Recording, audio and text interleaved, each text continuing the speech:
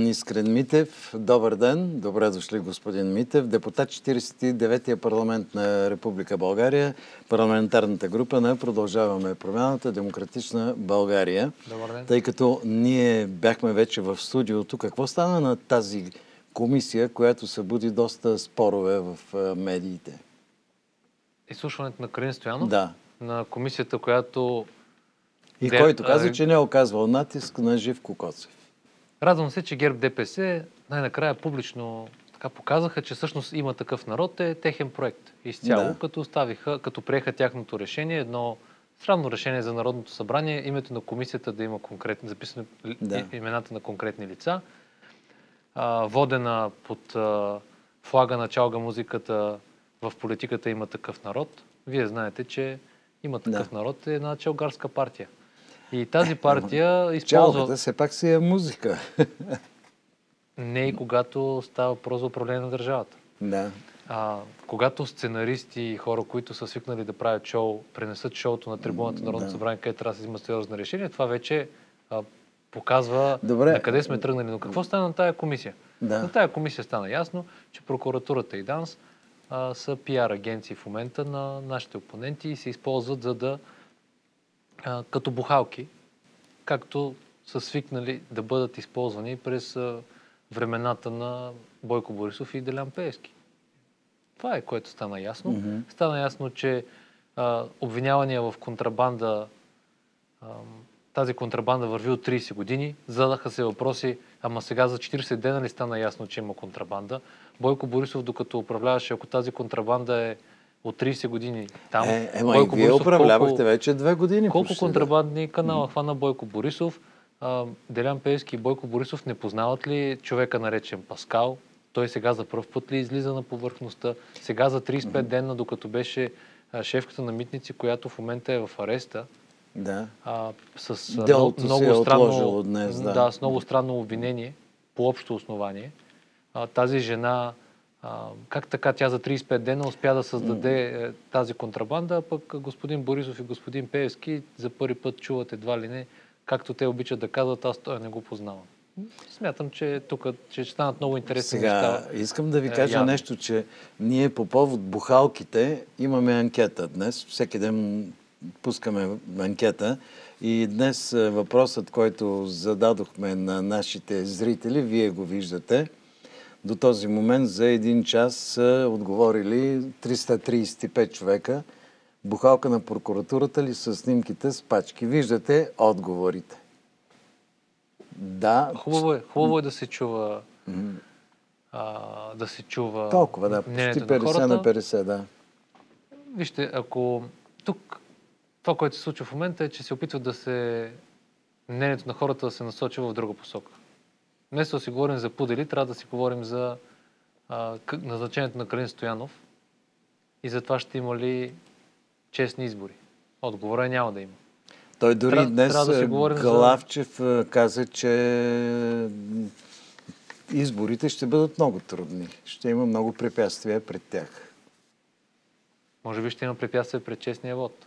Защото като видяхме синхрона между Главчев и президента Румен Радев, президента Румен Радев отказваше да подпише оставката на шефа на ДАНС, но много бързо Да. прие да... по- а, Оставката на шефа на ДАНС се иска по същата процедура, по която се иска оставката и на, глав... на секретаря на МВР. Да. Абсолютно по същата процедура и ние не успяхме за 9 месеца да убедим президента, че ДАНС не си върши работата, но много бързо беше той убеден, че трябва да се смени а, главен секретар. Добре, защо обаче днес е, Николай Василев е, обвини Арсен Василев и каза, че той е най-прахосническият и безотговорен финансов министр? Аз от Николай Василев а, до сега не съм чул нито една добра дума Е, аз ви А, цитирам това, да.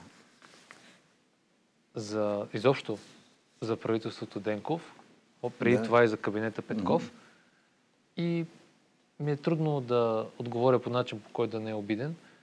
Мога да кажа обаче фактите. А, Фактите са, че българската економика е пример за Европа, Мгм. че успяхме да повишим доходите повече от инфлацията, че за краткото време, в което продължаваме промяната управлява България, ние настигнахме Европа повече, отколкото с 12 години по времето на ГЕРБ. Е, А днес добре. господин Борисов казва, че едва ли не сме тръгнали в грешна посока. Днес даже да го цитирам, каза, че са похарчени много пари неправомерно. Да, ама вие бяхте една коалиция. Много интересно как преди две седмици хвалеше министър Василев, че бил най-добрият Да. финансов министр. Може би, знаете ли какво означава неправомерно за ГЕРБ? Не. Ами означава, че парите не са отишли при техните хора. Да, от тази гледна точка е неправомерно. Да, може би хората близки до ГЕРБ, които са свикнали да получават всички обществени поръчки, кметовете близки до ГЕРБ, които са свикнали само те да получават средства. Да, те не получиха пари. Този път всички общини, без значение кмета от коя партия е, над 700 проекта бяха подписани, по милиард и 900 Ама бяха няма дадени парите. за общините. Няма пари. Парите са там. А, има една графика, която смятам, че трябва да бъде показана.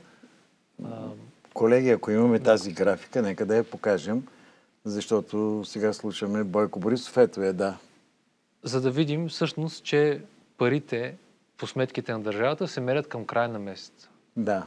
И знаете ли кое е много интересно? Кое е интересно? Само секунда, за да стане ясно на зрителите. Защо така изведнъж се оказа, че са похарчени много пари от а, държавната хазна за отрицателно време? Това вярно ли е, не е ли? Това е разказа на един служебен министр, който в първия ден от работата си излезе и каза няма пари. След това излезе Това, е, господ... това като се каже, хората изпадат Да, излезе и каза няма пари. Това е най-ефтиният сценарий в три действия. Първо действие. Излиза новия служебен министр, назначен от ГЕРБ, и казва няма пари. Второ действие. ГЕРБ и ДПС казват планини от кеш са раздавани. Викаме финансовия министр в Народното събрание. Да. Финансовия министр и трето действие, финансовия министр не идва в Народното събрание, защото излиза изведнъж в командировка, за да може тази тема да се дъвче. Това е графиката. Нека да я обясним. Вижте да. сега, а, нека да го обясним по този начин. Представете си, че вие получавате заплата в началото на месеца. Да, така е. В края на месеца аз не знам колко съм похарчил. Така И в средата на месеца вие сте си платили сметките, Да. направили сте най-големите си разходи и се очаква след, в началото на следващия месец да получите следващата заплата. Да. И след едно вие да кажете, ами останахме без пари в средата на месеца. Има си някаква цикличност в тези приходи и разходи. Нормално е в бюджета да има и приходи и разходи, които приходите Е, трябва да е. се съберат, разходите трябва да се направят. Към края на месеца ще видим. Няколко тази милиарда да бъде пак не е 9 малка милиарда. сума. Това са разходи, които са описани. Освен това, госпожа Людмила Петкова, която е дългогодишен експерт в Министерство на финансите, Ние е работила с Сен Василев. която е работила не само с Сен Василев, ами преди това тази жена, тя е там, откакто сигурно е построена сградата. Тя много добре знае за какво става въпрос. Аз не разбирам как, как е възможно експерти, които работят толкова дълго в Министерството, да използват подобен тип информация, половинчата, за да плашат хората. И аз, ако трябва да съм честен, съжалявам госпожа Петкова, защото съм видял от нея а, експертните и качества и добрите и страни.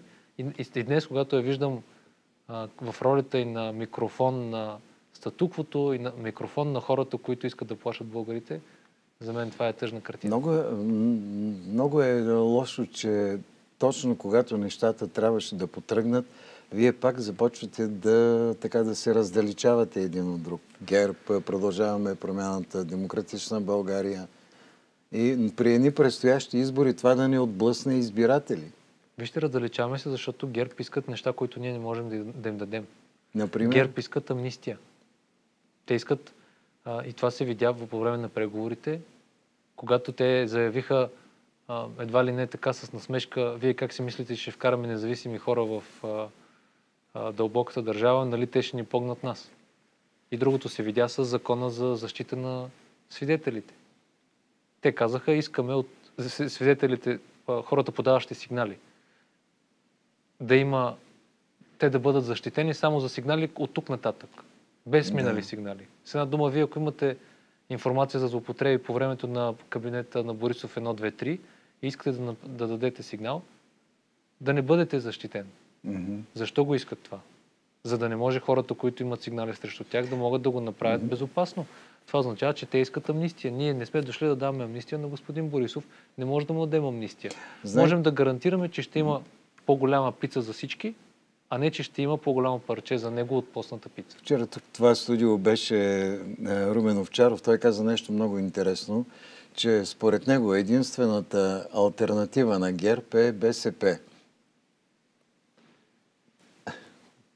И ще пак казвам, по някой път човек от уважение към белите коси на някой политик, просто трябва да Не, да замълчи, сега, така това че- да. БСП са от 130 години в българската политика. Ако трябва да съм честен, не виждам с какво повече могат да допринесат. А, подготвяте ли се за изборите? Един политик винаги трябва да е готов за избори. Изборите са най-хубавия момент. Те са чистилището на политиката. Място, в което изведнъж всички се връщат към избирателите си, място, в което, времето, в което хората почват да обещават, прави се равносметка Според- кой какво обещава и какво изпълнено. Добре. Така че Според вас Живко Коцев участвал ли е в така престъпни схеми? Не. Не вярвам, че Жив, Живко Коцев е участвал в престъпни схеми. В същото, същото време, ако е участвал в прес- престъпни схеми и ако това бъде доказано, Да. се надявам, че той ще бъде подведен под отговорност и ще понесе най-тежките последствия за действията си. Защото когато вземаш тази позиция, ти трябва да носиш отговорност. Така че а, смятам, който и да е, дори да не е Живко Коцев, всеки един човек в държавата, всеки един гражданин, който е тръгнал да се занимава с обществена дейност, трябва да носи теглото на работа. Добре, всичко това, което се случва, господин Митев, вие сте откровен човек, няма ли да бъде една сериозна пречка вече за Шенген и за еврозоната? Вижте, не смятам, че ам, трусовете в българската политика ще отекнат толкова силно в Европейския съюз. Сега предстоят европейски избори. А, истината е, че европейските партньори явно до този, етап, до този момент, част от тях са поглеждали настрани, виждайки какво се случва в България. И това не им прави чест. Обаче- Така че ние трябва да защитаваме българските позиции в Европа и да си решим нашите проблеми, преди да се опитваме да решаваме проблемите на Европа. И трябва да настояваме Европа да даде на България това, което ние си заслужаваме. Не ние да ходим да преговаряме постоянно за Шенген. Крайно време е сухопътния Шенген също да бъде факт. Ето станахме член на въздушния и водния Шенген. Направихме тази стъпка, която не беше правена 12 години, не успяха да направят преди нас. Сега е следващата стъпка. Еврозоната. Тази година се очакват 2,4% инфлация. 2,4% инфлация означава, че ние отговаряме на критериите и трябва да станем част от еврозоната от 2025 година. Това са фактите. Европейския съюз, ако продължава да не а, обръща внимание на реалността и да подценява по някакъв начин или да поставя България в неравностойна позиция, ам, казвам, това е работа на българските, на българските политици да припомнят, а, че всъщност България е една от най-старите държави в Европа и ние Така е, заслужаваме да. място си там Мгм. и заслужаваме да бъдем уважавани наравно с тях. А, той Калин Стоянов беше разпитан, не знаеме за какво става въпрос. Аз преди малко колегите показаха, че комисията продължава да заседава в парламента. Да видим какво ще излезе. Вие вчера имахте и закрито заседание, доколкото си спомням. Ами, имахме закрито заседание, на което нищо... Закритите заседания са толкова... До толкова е деградирало доверието в българския Да, но парламент. тя е комисията, вижте, много спокойно си върви. А, сега вече е спокойна. Аз като, когато я гледах преди няколко часа, беше, беше доста, така имаше доста яростни изказвания. Ами, аз а, искам да продължим този разговор, но знам, че имате неотложен ангажимент, който не можем да не уважим. Много бързо минава времето всеки път. Да. Пожелавам успех на вас и на вашето предаване. И на вас, да господин гледат, Митев, ще продължим интерес. този разговор, защото ние стигнахме почти до никъде. Но както и да е, Задайте ми един последен въпрос. ще се включите ли в е, листата за евроизборите? Партията в момента решава този въпрос. Вие имате Аз ли смятам- желание? Смятам, че има много работа, която трябва да се свърши в България и, и а, смятам, че първо трябва да се решим нашите проблеми тук, а те са много и младите хора трябва да, а, да участват в политиката и каня и моите, и вашите зрители, младите хора сред тях да не бягат от политиката. Има нужда България от млади хора в политиката. Нали няма да се карате повече с Разостин Василев? Винаги, когато има несправедливост, ще се караме до последно. Благодаря ви. Всичко добро. И сега отиваме към заседанието на Министерския съвет днес. Ето какво каза министър-председателят на Временното правителство, господин Димитър Главчев. Стартираме интензивната подготовка на честни и свободни избори на 9 юни. Като служебен кабинет това е наш първи приоритет и ще го реализираме стрикно, спазвайки Конституцията и законите на страната, в тясна координация с Централната избирателна комисия. Честността на вота е без альтернатива. Затова опитите за купуване на гласове и за опоручаване на изборите по какъвто и да било друг начин ще срещат нашата категорична съпротива. Иска много ясно да заявя: служебният кабинет подготвя изборите, но не участва в тях. Предстои предизборна кампания. Съмнявам се да има човек, който да не е убеден, че тя ще бъде, меко казано, напрегната. В тази ситуация сме длъжни да останем хладнокръвни от първия до последния ден на това правителство. В действията си ще се водим от законите, здравия разум и интересите на българските граждани. Освен подготовката на изборите, ще се фокусираме, разбира се, и върху решаването на неотложни въпроси и проблеми в различните сфери от обществения живот. Държавата няма режим на изчакване. Неотклонно ще сме на работното си място, за да гарантираме спокойната и ефективна работа на институциите в изпълнителната власт. Предстои ни мандат, в който съм убеден, че ще свърши много работа в интерес на хората. Пожелавам на всички Вас успех и ползотворна работа! Това каза в началото на заседанието на служебния кабинет господин Димитър Главчев. И сега да чуем вашият коментар за всичко, което се случва в страната, за скандалите в МВР, за това, че ще има напрегната предизборна кампания, както каза и господин Главчев. Смятате ли, че всичко това ще се отрази на политическия живот в страната през следващите един-два месеца? Добър вечер! Ало? Ало? Добър вечер! Добър вечер! Слушам ви. Ами звъня на Евроком. Да, вие сте в ефир, госпожо. Говорете. Добре. Говорете. Ало? Я... Да. Много, да. А искам да кажа няколко приказки за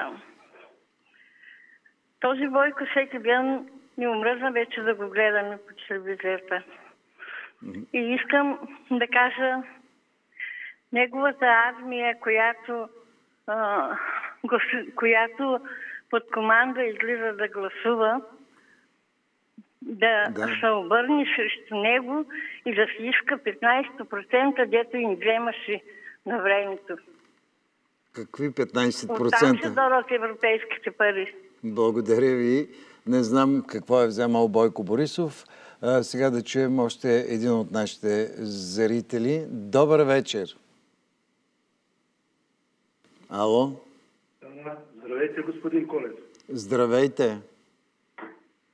Най-напред искам да започна от там, когато излъчвахте интервюто с Бойко Борисов, като който направи забележка на правителството, което се замина, че да. не се е вслушвало в препоръките на Международния валутен фонд, т.е. на Кристалина Георгиева, която беше скоро тук в България. Да, да. Така. Тя каза така. Премахнете плоския данък. Точка едно. Точка две. Точка две. Каза, преизчислете пенсиите. Да. Сега, защо не го чуват това нещо те? Защото така и не знаят. А как се преизчисляват пенсиите? Много лесно и много бързо, казва вашият гост, редактора на, на вестник Пенсионер, мисля, че беше, да. който оглавяваше една група, която имаше среща с народните представители. Значи всички се съгласяват с тази, а, а, как да го кажа, с а, това нещо за при изчисляване на пенсиите, обаче никой не иска да се, да се намеси. И сега, когато нещата се осложняват, с новото правителство, почват да плашат пак хората, ама нямало, нямало пари за пенсиите. Значи този човек знае как трябва да стана това нещо. Що се касае до ситуациите, които се развиват в системата на МВР, вижте какво. За мен е една от крадливите и корумпирани институции в страната. Не, за, не, за МВР говоря. Да. Другото, аз веднъж говорих с вас и ви казах, българският народ трябва да свикне с новият министър-председател. Това ще бъде Пеевски, защото след новите избори се оформя вече конфигурацията. Първа политическа сила ГЕРБ, втора политическа сила ДПС, трета Възраждане и подредени така нататък. Майка му жална на, на, на този народ. Така че това е положението. Имам един апел към всички хора, които имат право на глас. Българи, гласувайте. Не дейте да смятате, че като си стоите в къщи, правите на една и нещата се оправят. Идете и гласувайте. Гласувайте, защото това е начина да, да, да направим така, че малко от малко да тръгнем напред. Благодаря Друго ви. нямам какво да кажа. Благодаря ви много. Благодаря ви за включването в нашето предаване. Имаме време да чуем още един зрител 02809-2050. Добър вечер. Добър вечер. Слушам а, ви. наистина гласуването му е майката, но толкова дълго, дълги години, десетилетия ни обработваха. Даже съм виждала по сградите, пише аз не гласувам гордо, три удивителни. Да. Сега как да накараме горкия и страдал народ да отиде и да гласува? Как да разбере, че бълшинството, а, Просто качеството ще дойде от многотията. Трябва хората да разберат, че все още сме много, че все още са повече тези, които страдат на тази българска земя. А само този, не мога да кажа елит, просто не ми се обръща езика, тези, които имат власт, само те са добре. Само на кралите се, само те са добре. Ако всички, които страдат и се гърчат от немотия и пищят вътрешно, когато си видят сметките за ток, само те са многото все още. За това да ги махнем тези никакви бойковци, никакви меракли, такива мерака на Чичо Денчо, дето окипази Конституцията. Тя и без друго не е много в добър вид, не е точно такъв какъвто биха искали българските граждани, но все пак е сносна, беше сносна и сега този смерака на Чичо Денчо, всички знаем този разказ на горкия селянин, който решил, че най-му харесва професията на диригента и поръчал на депутата племенник такава професия да му даде. Така, много ми се иска този народ който работи с много големи времеви такива отрязъци, пет века, два века, да загрее бързо. Някъде вътре в два месеца да успее да му светне, да се отърси от летаргията и да отиде да гласува, да залее урните. Няма да успеят да фалшифицират всичко. Тези, които погубиха България, стана ми мъчно, защото аз съм свидетел на космическите успехи на България и съм свидетел на всички хубави неща и в областта на културата, и на науката, и на селското стопанство. Български народ трябва да си припомни това и да иска да си го върне. Просто много се вълнувам, защото а, си мисля, че отново ще изтървем историческия шанс.